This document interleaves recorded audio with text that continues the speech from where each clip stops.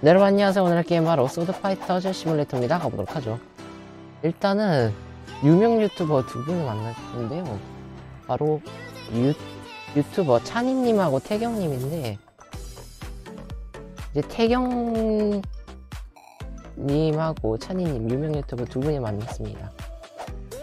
오, 오. 지금 auto 돌리고 계시네요. 근데 진짜인 게 요, 이거 디플닉하고 진짜 닉하고 똑같네 야 이런 확률이 있었을 줄이야. 잠깐만. 아니 삭제는 아니고. 아시죠 이렇게 상자가 있는데 이 상자를 까면은 여기서 이렇게 획득하실 수 있고 그 다음이 여기. 악마의 언덕에 여기 하나 있고요. 여기 하나 그래서 제가 지금 요거 했는데 되게 좋아요. 와.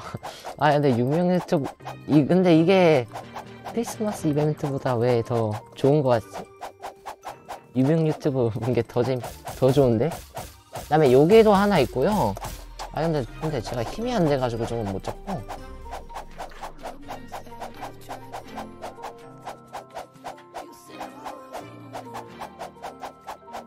여기도 있나? 아 여기는 없는 것 같네. 아 그래도 유명 유튜브 만나니까 좋네.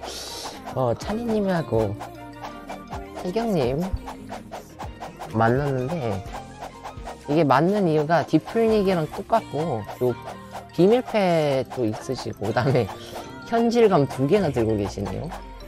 네. 만화 진짜가 맞아. 솔직히 내가 준비 안 하고 오겠어? 한번 확인해보고 그 다음에 유튜버에서 아 유튜브에서 영상도 찾아보고 하니까 맞, 맞더라고요. 펫과 검과 그 다음에 이름 다 똑같네. 네 아무튼 이렇게 유명 크리스마스 이벤트로 들어왔 리뷰하러 들어왔는데 유튜버를 만났네요. 네. 재밌게 봤던 구독과 좋아요 알림 버튼 눌러주세요. 그러면 안녕. 바이바이. 진짜 볼 줄 몰랐네 와 대박이다